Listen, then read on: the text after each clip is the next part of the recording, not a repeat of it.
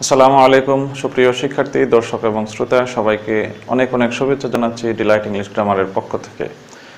আপনাদের সাথে আছি আমি Saleh Ahmed lecturer in English Fulgazi government college Feni তো আজ আমরা গ্রামারের একটা কঠিন টপিক একটা কঠিন টপিক আমরা সিম্পল কমপ্লেক্স এবং কম্পাউন্ডের বেসিক নলেজ সম্পর্কে আলোচনা করব। বেসিক নলেজের অভাবে আসলে আমাদের বেশিরভাগ স্টুডেন্টদের কাছে এটা খুব বেশি কঠিন মনে হয়।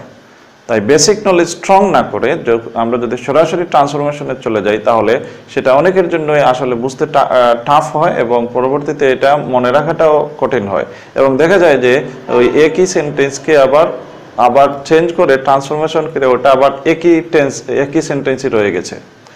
যেমন As soon as I reached the station, the train left. এই বাক্যটাকে যদি সিম্পল করার জন্য বলা হয় অনেক শিক্ষার্থীকে দেখা যায় যে এগুলোর আনসারটা এমনভাবে করে ওইটা যে সেন্টেন্স ছিল ওইটাই রয়ে যায়।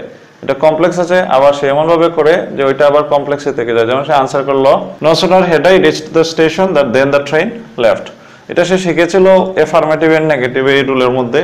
এটা ছিল এফার্মেটিভ এটা ছিল নেগেটিভ কিন্তু যখন বলা হয়েছে যে সিম্পল করার জন্য, সে অপশন এটাই খুঁজে পাইছে যে এটাকে অন্যভাবে কীভাবে বলা যায়।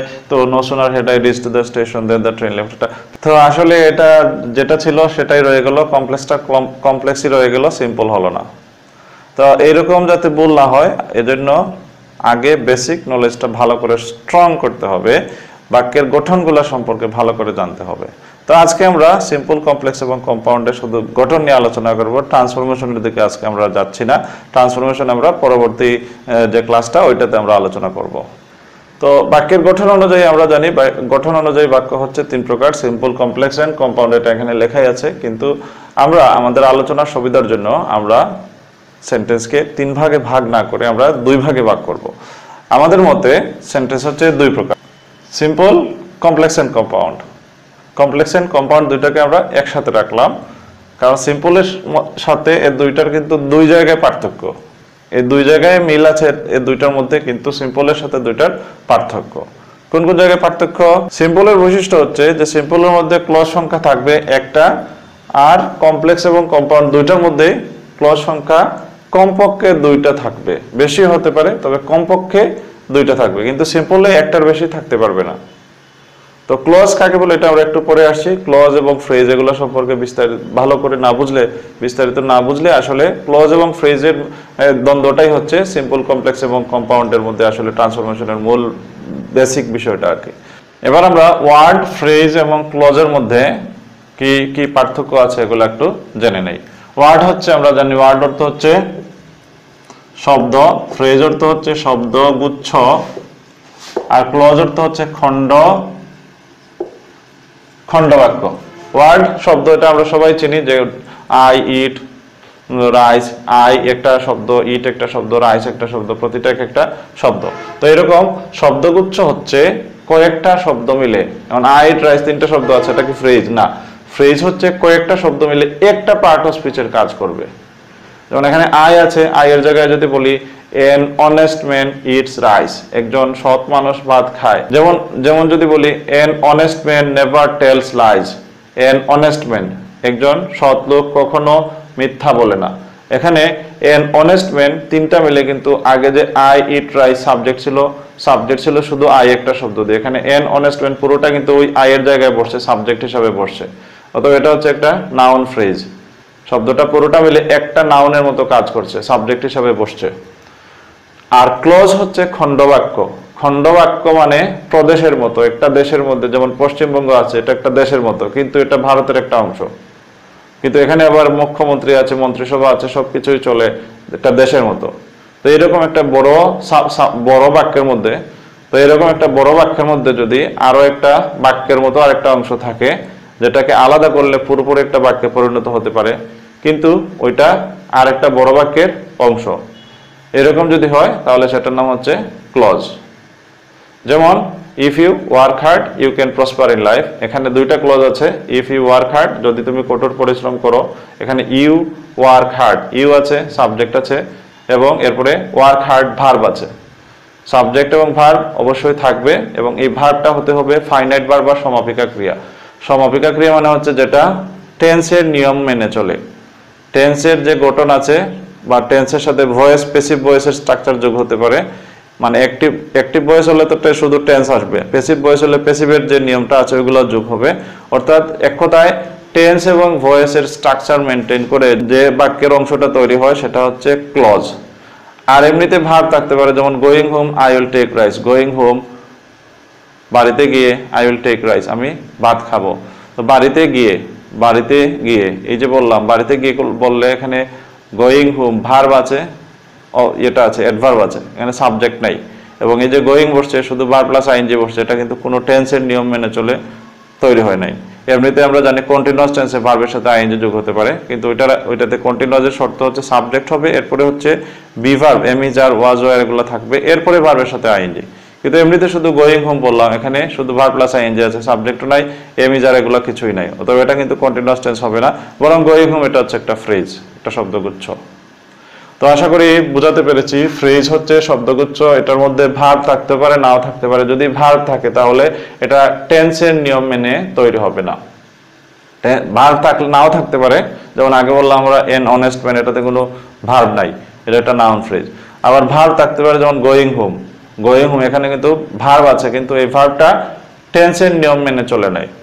তো এরকম যে ফ্রেজ বা শব্দগুচ্ছ হচ্ছে, কয়েকটা শব্দ মিলে যদি একটা পার্ট অফ স্পিচের কাজ করে, তাহলে সেটাকে বলা হয় ফ্রেজ কিন্তু এই পার্ট অফ স্পিচের মতো কাজ করবে, শর্ত হচ্ছে যে এটার মধ্যে কোনো ফাইনাইট ভার্ব বা সমাপিকা ক্রিয়া টেন্সের নিয়ম মেনে চললে যে ভার্বটা তৈরি হয় ওই রকম কোনো ভার্ব থাকতে পারবে না। আর ক্লজ হচ্ছে একটা বড় বাক্যের একটা ছোট অংশ যেটাকে আলাদা করলে বাক্যের মতো এটা থেকে এটা বাক্যের মতো এটার মধ্যে সাবজেক্ট এবং ফাইনাইট ভার্ব বা টেন্স অনুযায়ী ভার্ব থাকবে। তো এই হচ্ছে ক্লজ এবং ফ্রেজের মধ্যে পার্থক্য। সিম্পল কমপ্লেক্স এবং কম্পাউন্ড বুঝতে গেলে ক্লজ এবং ফ্রেজের মধ্যে পার্থক্যটা বোঝা খুবই জরুরি। কারণ সিম্পল সেন্টেন্স সিম্পল সেন্টেন্স হতে হবে এটাতে অবশ্যই একটার বেশি ক্লজ রাখা যাবে না।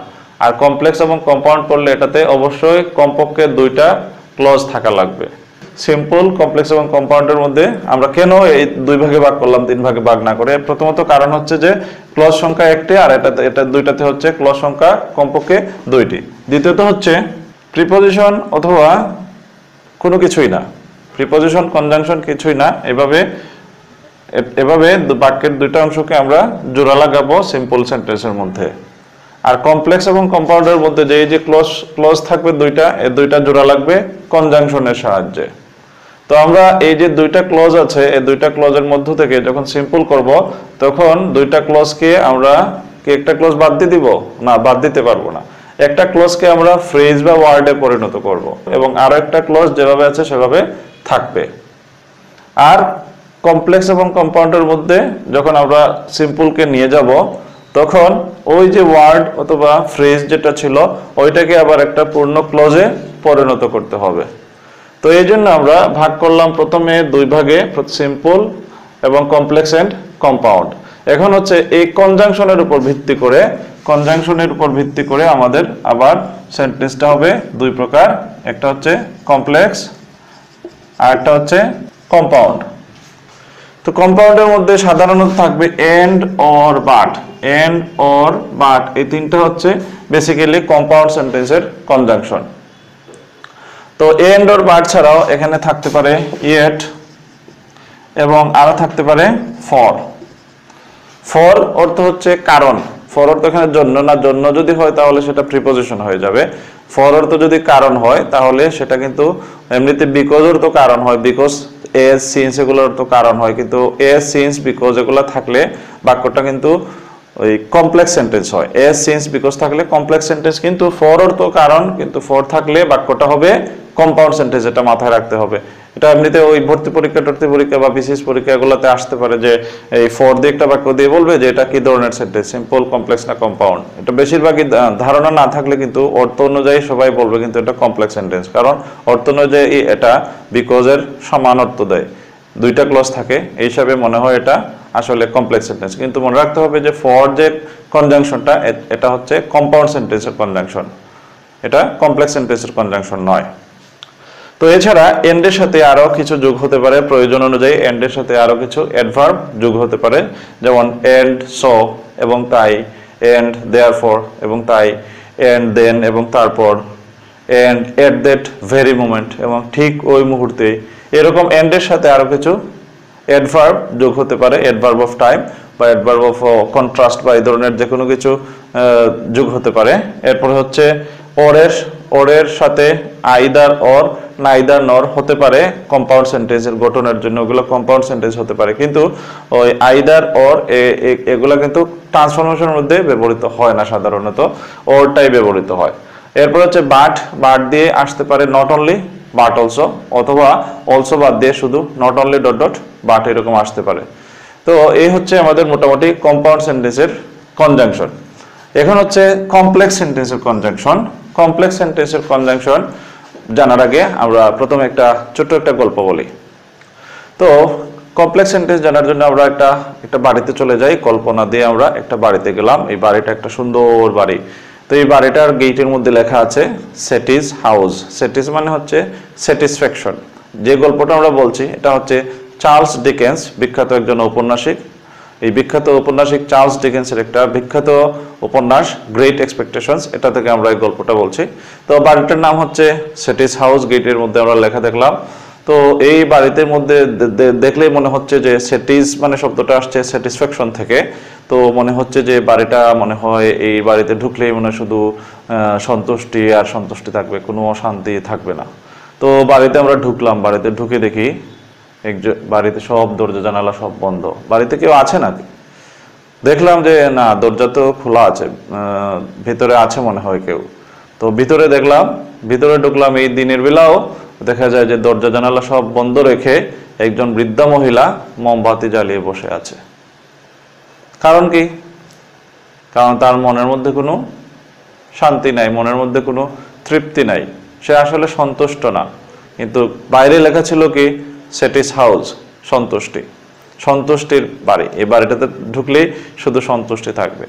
তো এই যে বাড়ির বাইরে আর ভিতরে দুইটা তো মিল খেলো না এই জন্য এটা একটা কি কমপ্লেক্স একটা জটিল পরিস্থিতি না, একটা জটিল পরিস্থিতি। বাইরে আর ভিতরে মিল নাই।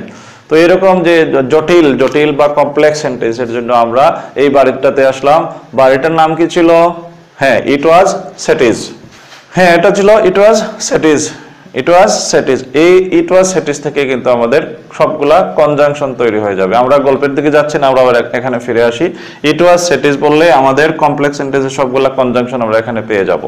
তো এবার দেখি ইট ওয়াজ সেটিস মানে কি কি? প্রথমে আই দিয়ে হচ্ছে ইফ ইফ অর্থ যদি, এবং আমরা জানি ইফের সমার্থক আরও শব্দ আছে in case provided provided that providing that এবং এটার বিপরীত শব্দ আছে আনলেস এই সবগুলাই আমরা ইফের ভিতরে আছে ধরে নিব। এই সবগুলাই যদি যে কোনো একটা থাকলে আমরা এটাকে কমপ্লেক্স সেন্টেন্স ধরে নিব। টি দিয়ে হচ্ছে দ। দ অর্থ যদিও, এবং এটার সমার্থক আরেকটা শব্দ আছে অলদো তো অলদো থাকলেও এটা কমপ্লেক্স সেন্টেন্সই হবে। এরপরে হচ্ছে W H words W H words বলতে who what which when where how এ ধরনের যে শব্দগুলো ডাব্লিউ এবং এইচ দিয়ে তৈরি হয়, এগুলো হচ্ছে ডাব্লিউ এইচ ওয়ার্ডস এরপরে হচ্ছে এজ এজ অর্থ যেহেতু বা কারণ সিন্স অর্থ যেহেতু বা কারণ, এরপরে হচ্ছে সর ডট ডট দ্যাট এতই যে এজ সুন এজ করতে না করতেই, হতে না হতেই দ্যাট অর্থ যে যা, যাতে, তিনটা অর্থ, যে যা, যাতে ইন অর্ডার দ্যাট যাতে সো দ্যাট যাতে। তো এই যেগুলো হচ্ছে, এগুলো হচ্ছে কমপ্লেক্স সেন্টেন্সের চিহ্ন, এগুলা দেখলে, এগুলা বাক্যের মধ্যে পাওয়া গেলে আমরা ধরে নিব, এটা হচ্ছে কমপ্লেক্স সেন্টেন্স এবং এটাকে আমরা ওই যেভাবে বলা হয় সিম্পল বা কম্পাউন্ড করার জন্য যেভাবে বলা হবে, ওইভাবে আমরা এটা করে নিব। তো আমরা পেয়ে গেলাম কমপ্লেক্স এবং কম্পাউন্ডের কনজাংশনগুলা এবার রইল সিম্পলের প্রিপোজিশনগুলো তো এবার দেখি আমরা সিম্পল সেন্টেন্সের যে চিহ্নগুলো আসতে পারে প্রিপোজিশনগুলো আসতে পারে, যেগুলো সেগুলো হচ্ছে বাই বা in case of in case of by অর্থ হচ্ছে বাই ডুইং যেমন বাই ডুইং অর্থ করে বা করার দ্বারা। ইন কেস অফ অর্থ হচ্ছে বাংলা ক্রিয়া শেষে লয়কারে লে যোগ হবে। ইন কেস অফ ডুইং করলে ইন কেস অফ গোয়িং গেলে এইভাবে। উইদাউট অর্থ ছাড়া বা না করলে উইদাউট ডুইং বা না করলে বা করা ছাড়া। ইনস্পাইট অফ অর্থ সত্ত্বেও ডিসপাইট অর্থ সত্ত্বেও ইনস্পাইট অফ বা ডিসপাইট অর্থ হচ্ছে সত্ত্বেও, দুইটা সমান অর্থ। ইনস্পাইট অফ অর্থ হচ্ছে তিনটা শব্দ আর ডিসপাইট হচ্ছে একটা শব্দ। ডিসপাইটের পরে কোনো অফ আসবে না, এটা মাথায় রাখতে হবে। আর ইনস্পাইটের পরে অফ দিতে হবে। তো ইনস্পাইট অফ ডিসপাইট অর্থ হচ্ছে সত্ত্বেও, এগুলোর পরে ভার প্লাস আইনজি যদি যোগ হয় in spite of in spite of doing দেওয়ার কাজটা করা সত্ত্বেও। তো প্রিপোজিশনগুলোর পরে এইভাবে স্বাভাবিকভাবে একটা সাবজেক্ট সাবজেক্ট যদি আসে তাহলে পসেসিভ কেসে আসবে। এরপরে হচ্ছে বার প্লাস আইএনজি বসতে পারে, অথবা একটা নাউন ফর্ম বসতে পারে। যেমন আমরা বলতে পারি in spite of in spite of being poor দরিদ্র হওয়া সত্ত্বেও, অথবা বলতে পারি ইনস্পাইট অফ বিং পোর না বলে ইনস্পাইট অফ শুধু ইনস্পাইট অফ পভার্টি দারিদ্র সত্ত্বেও। অথবা বলতে পারি in spite of his being poor তার দরিদ্র হওয়া সত্ত্বেও। এভাবে একটা পসেসিভ কেস আসতে পারে his my our their Kamal's Jamal's apostrophe s দিয়ে। এরপরে হচ্ছে আসতে পারে কি, যে শুধু ভার প্লাস আইএনজি আসতে পারে, অথবা বার প্লাস আইএনজি না আসলে প্রিপোজিশনের পরে নাউন আসতে পারে, যেমন ইনস্পাইট অফ পভার্টি দরিদ্রতা সত্ত্বেও। তো সবগুলা প্রিপোজিশনে এই নিয়মটা ফলো করতে হবে। প্রিপোজিশনের পরে নাউন অথবা বার প্লাস আইএনজি অথবা পসেসিভ কেস প্লাস নাউন অথবা পসেসিভ কেস প্লাস বার প্লাস আইএনজি এইভাবে স্ট্রাকচারগুলো হবে। এরপর হচ্ছে বিকজ অফ অর্থ হচ্ছে কারণে। আফটার অর্থ পরে বিফোর অর্থ আগে। অন অর্থ হচ্ছে সাথে সাথে। এখানে অন অর্থ উপরে না অন অর্থ আমরা উঠাবো সাথে সাথে। অথবা at the very moment of ঠিক মুহূর্তেই।